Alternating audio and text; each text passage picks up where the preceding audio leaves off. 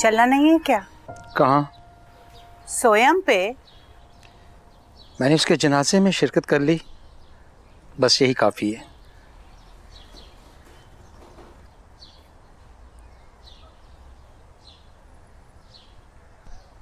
रिजवान कैसी बातें कर रहे हैं आप?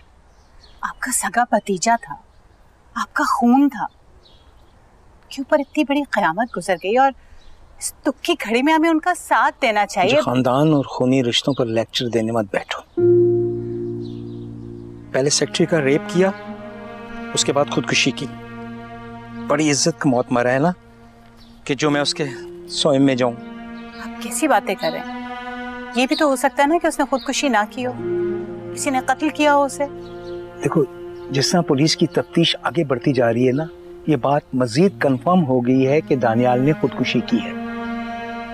मैं सोच रहा हूँ कि दुनिया का सामना कैसे करूँगा? आपको अपने जवान भतीजे की मौत का गम नहीं है। आपको दुनिया की पड़ी है। क्या हो गया आपको रिजवान? बहरहाल मैं इस बदनामी का मजीद हिस्सा नहीं बनना चाहता। हमारा अब उस्मान की फैमिली से कोई ताल्लुक नहीं।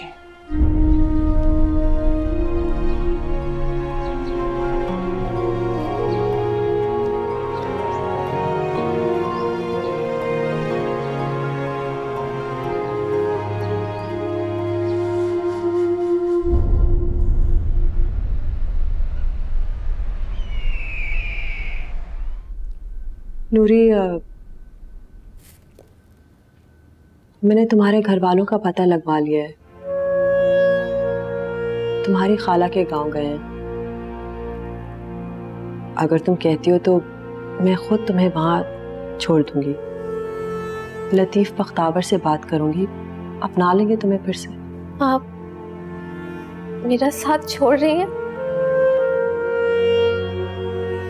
आपने तो बहुत बड़े दावे किए थे। मुझे इंसाफ दिलाएँगी।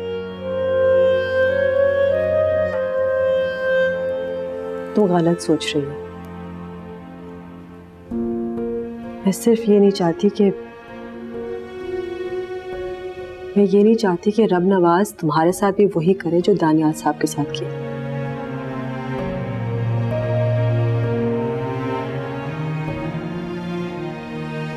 आप सच सच क्यों नहीं बोलती?